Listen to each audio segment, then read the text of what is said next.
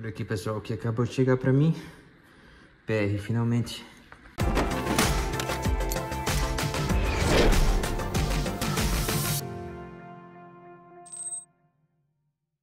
Fala pessoal, tô dando aqui minha cervejinha domingo aqui e apareceu aí no nosso, na nossa caixa de correio finalmente o nosso PR, né? levou pouco mais de dois anos, então eu decidi gravar um vídeo sobre isso. Deve estar ventando um pouco, mas acho que dá pra ouvir bem. Então, isso aqui começou muito tempo antes, né? Foi bem antes do. Bem antes, não, pouco antes do Corona. E infelizmente teve o Corona, enfim. A gente teve que ficar em casa, essas coisas todas. E terminou adiando um pouco. Marina ficou estudando em casa, no, no college daqui. É, à distância, né? Então tudo foi diferente pra gente no início até conseguir o PR. Mas o prazo mesmo assim que as pessoas conseguem varia de um a dois anos.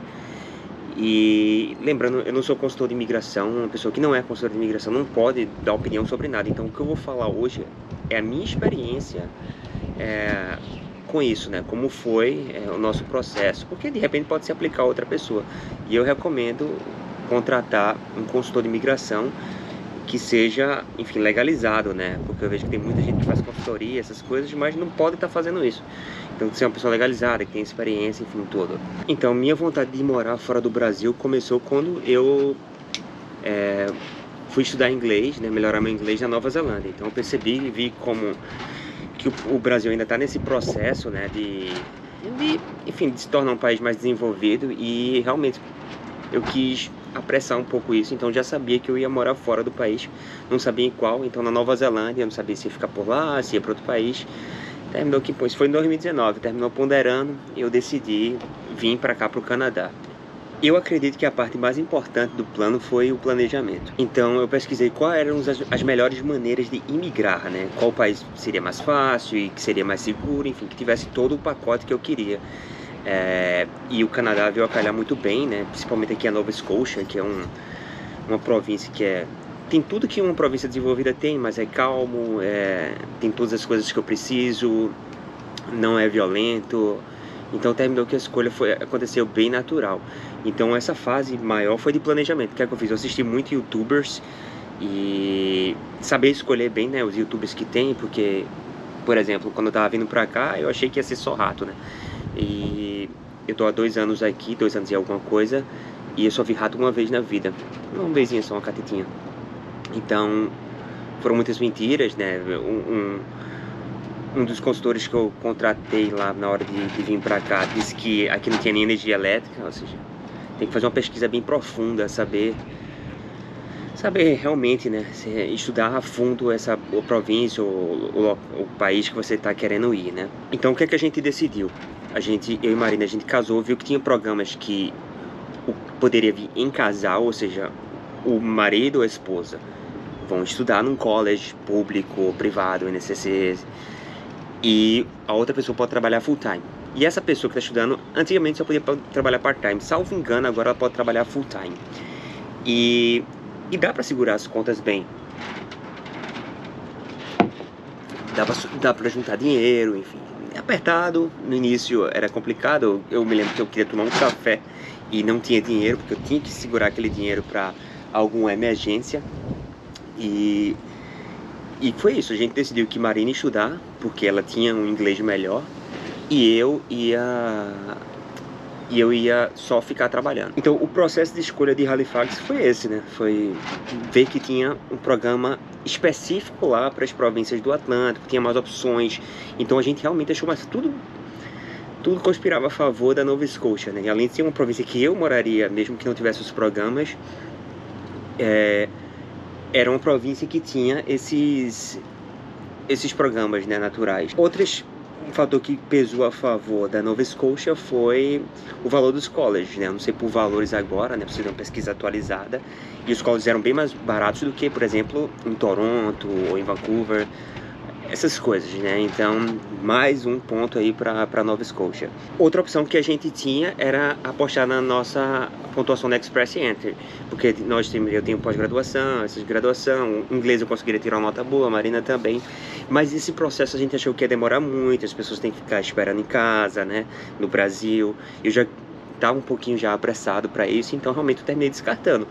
Mas é outro, por isso que eu sugiro um consultor de imigração, né? Porque de repente você pode ter a pontuação para emigrar do Brasil, né? Seria bem menos gasto que você teria com com com college, com essas coisas, né? Então tem um casal amigo meu agora é, que veio pelo Express Entry, né? E enfim, ele contou bem, porque fala francês, inglês, tem graduação, pós-graduação, vida estável, comprovação financeira. Então, são pontos que um, um, um consultor de imigração ele vai saber estar tá orientando a pessoa. Então, por causa do nosso visto, é, por causa da pandemia, o nosso visto demorou uma eternidade para ser aprovado. Ele, ele recebeu uma pré-aprovação. E o que eu penso que aconteceu ficou uma loucura, né? A gente não pode nem culpar, né? A gente não estava é, preparado para a pandemia, né? E eu sei que muitas, muitos casais que eu conheço homossexuais, eles tiveram o visto negado inicialmente porque o visto deles estava sendo analisado em países é, que, não aceitam, que não aceitam bem, né? É, diversidade, essas coisas, é, sobretudo no Oriente Médio. E tiveram muitos vistos negados, muita gente angustiada. Foi horrível. Espero que nunca aconteça alguma coisa. Felizmente o nosso foi aprovado, a gente conseguiu uma pré-aprovação. Marina ficou estudando um ano em casa. E depois de um ano, quando os casos começaram a reduzir, a gente foi autorizado a vir para cá.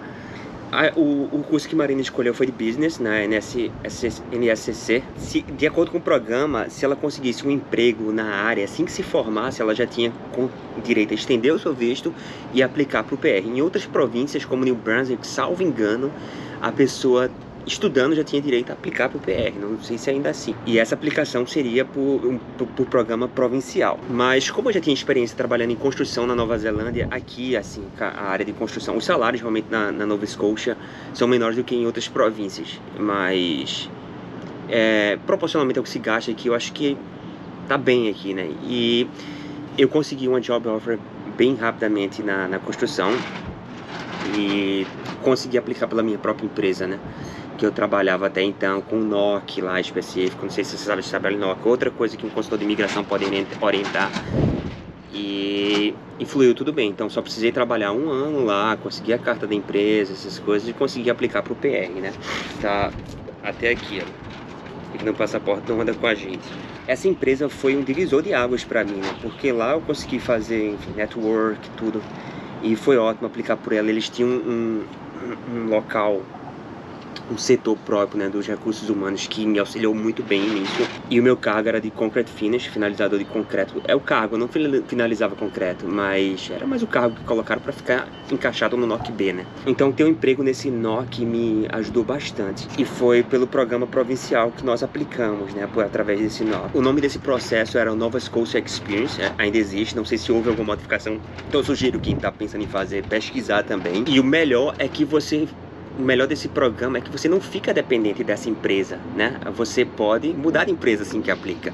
E era uma coisa que me preocupava, porque como o meu salário não era tão bom, eu não queria ficar é, vinculado a essa empresa durante anos, né? Até sair o meu processo. Então, foi por isso que eu é, apliquei por ele, né? Então, assim que eu apliquei, eu esperei um mês mais ou menos e já mudei de empresa. Outro ponto positivo do Express Entry é Nova Scotia, desculpa, desculpa do Nova Scotia Experience. Se eu disse diferente antes, peço desculpa. É, é que tudo pode ser aplicado online, né? Então flui melhor também. A gente aplicou tudo online. O que mais que eu escrevi aqui? O tempo do processamento é mais curto e eu posso comprovar isso porque eu vi gente que teve seu processo aprovado bem rápido, um ano. Foi muito rápido. O meu demorou mais por causa de um erro da, das pessoas lá que estavam analisando a documentação, eles esqueceram de mandar o e-mail confirmando, me autorizando, enfim, águas passadas. A maioria dos programas provinciais está demorando um ano, né? Está é, demorando mais de um ano. Então, olha a diferença aí de, de um para o outro, né? Então, quando eu completei um ano de experiência, eu finalmente pude aplicar pro, pro PR, né? Eu fiz o IELTS, IELTS, IELTS, tirei uma nota boa, é, o score vai até 9, eu tirei 7,5 em, em speaking, que era o que eu estava mais preocupado. Tirei uma nota baixa em reading, mas as notas são bem baixas mesmo no IELTS. Mas eu recomendo as pessoas fazerem CELPIP e outro. Eu vejo gente que quase não sabe falar inglês e consegue tirar nota boa nesses, nesses outros testes. Eu acho que eles são mais mais tranquilos para fazer. Mas se você já tem um inglês bom, então o IELTS fica tranquilo, vai dar tudo certo. Eu eu precisava de, do CBL, eu não me lembro qual é a palavra, acho que era 5. Eu fiquei bem acima disso. Não me lembro quanto agora no total, né, na soma dos fatores. Então foi bem tranquilo. Então para fazer a aplicação eu precisaria uma carta do meu empregador comprovando que eu fazia na empresa. A carta ficou perfeita, eu dei uma sugestão de como eles fariam. Óbvio que eles fizeram algumas alterações, algumas alterações positivas inclusive. Quanto tempo eu trabalhava lá, eu também abri um perfil no Express Entry. Tem vídeos no YouTube, eu acho ensina como abrir o perfil, o perfil no Express Entry, mas um consultor de imigração também pode auxiliar nisso. Eu apliquei no dia 31 de agosto de 2022, ou seja, um ano atrás, é, um ano atrás. É, eu e Marina, a gente optou por não usar o consultor de imigração, né? Tinha um valor, o custo realmente é bem alto, né? Então eu acho que realmente para quem tem uma, uma classe mais tá mais naquela classe alta, né? Então a gente se virou. Na verdade, eu, eu não fiz nada, né? Marina fez cuidou praticamente de tudo. Minha vida foi bem fácil nesse sentido. Ela fez todo o programa, só fazia existir lá. Mas eu também dei meu apoio porque trabalhar numa empresa de construção pesada, né? E que o setor que eu trabalho é o mais pesado da, da construção civil aqui. Então não pode se dizer que minha contribuição foi nula, né? Mas enfim, um sem o outro não teria sido possível, eu acho. Ai, delícia. Então, eu fiz algumas anotações aqui, porque foi justamente Marina que, que cuidou dessa parte, né? Para aplicar a, para nomeação provincial, você faz tudo pelo próprio site da província e é de graça. Nossa nomeação demorou mais do que o normal para sair, como eu tinha falado anteriormente, mas no dia 17 de dezembro finalmente chegou. Com a nomeação, nos ganhamos automaticamente 600 pontos no Express Entry, ou seja, entra automático, né? Essa pontuação ninguém, ninguém barra, eu acho. É, ficou altíssima, ou seja, próximo do sorteio seríamos convidados para aplicar para o nosso PR Express Entry. Demorou também o sorteio. Mas como nada é simples, o RCC entrou na greve bem nessa época e só recebemos o ITA em janeiro, quando finalmente voltou a ter sorteio. Nosso perfil já estava todo bonitinho, prontinho para aplicar. No dia 12 de janeiro, finalmente enviamos tudo para aplicar pelo Express Entry e o documento aqui comigo aqui, né? Voltamos então ao processo de espera. Claro que o nosso ia demorar mais, né? Tudo demorou mais. Todos os nossos processos demorou mais do que é, o tempo médio, muito mais do que o tempo médio, tudo. Eu não conheço nenhuma pessoa que tenha demorado mais do que eu. Inclusive para vir para cá, né? Tinha gente que aplicava pro, pro visto e o meu era o provisório e ele ganhava já o visto permanente, já podia vir. É, Express Entry, blá blá blá. Então, até sair foram várias ligações de web forms que a gente ia ligar cobrando para eles, porque eles esqueciam pra gente, né? É, esqueceram de mandar o e-mail, como eu tinha falado anteriormente. Não é para quem tem coração fraco isso aqui, né? Marina colocou até essa observação aqui, porque era bastante angustiante. E no dia 16 de junho de 2023, 20, é, finalmente recebemos o primeiro e-mail pedindo a confirmação de alguns dados, ou seja, já estava praticamente tudo certo. Esse e-mail é meio anticlímax porque não diz parabéns nem nada. No dia 19 de junho já recebemos o ECPR, que é a, a digital, né? Que é a confirmação eletrônica do PR e aí sim e-mail mais animado, né? A sensação de alívio é grande, missão cumprida com o PR, você e todos os direitos que os cidadãos canadenses têm. Você, você não pode votar, essas coisas, se candidatar, essas coisas também não tenho intenção nenhuma. Mas você, por exemplo, quando está vindo do aeroporto, você tem direito a passar a fila, né? Então é quase como se fosse um cidadão, né? Quase, não, não muda tanta coisa, né? Pelo que eu vi gente que, que é cidadão, né? É, mas o mais legal é que você não tem que lidar com IRCC, porque, assim, eu tenho muitas críticas a fazer isso. Também, águas passadas, não vou falar mais, mas fraco é. Não, não pensa que está lidando com sonhos das pessoas, né? Essas coisas assim. E eu acho que eles podiam melhorar, eles podiam, enfim, eles estão no país desenvolvido, eles têm recurso, poderiam ter atuado de uma forma melhor. Porque essas pessoas que estão vindo para cá para trabalhar, pelo menos todas que eu conheço, elas estão dando alguma coisa também, né? Elas não estão chegando aqui no país e sugando todas as benesses do país.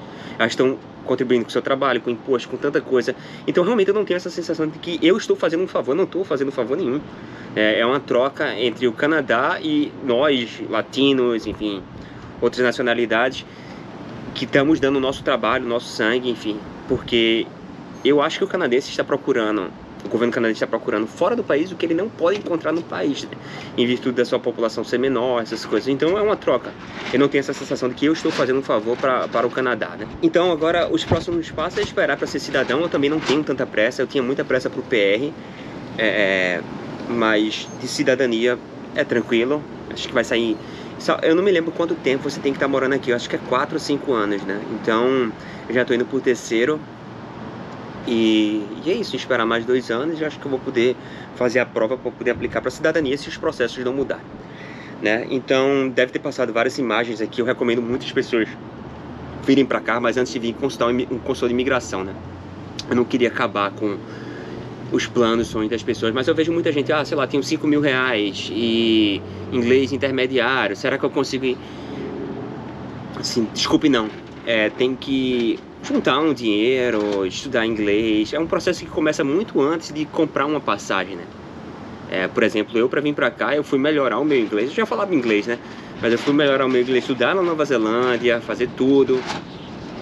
Juntei muito dinheiro, é uma vida juntando dinheiro, né? Para poder vir para cá. E enfim, começa antes, né? É, se vocês assistem o canal Plano Canadá, que é de um amigo meu, Carlos, ele começou a fazer os vídeos dele já de planejamento, né? Eu, enfim, não, não assisti todos, né? Mas assisti várias. E você vê que é um negócio que começa bem antes, que envolve muito sacrifício, muita dor de cabeça. Não é só ir assim. Job offer é para trabalho também muito esquilizado. Eu, gente, ah, tem, tem emprego aí para servente de pedreiro, alguma coisa tipo? Não tem. Pra, pra, pra, pra sponsorar. Não vai ter. Entendeu? tem de, de cargos é, que, que, envolvem mais, que sejam mais desenvolvidos, né? É, que, é, que eu digo desenvolvido no sentido de, de mais estudo nessas né, coisas. Enfim, é isso. Então até a próxima. Valeu pessoal.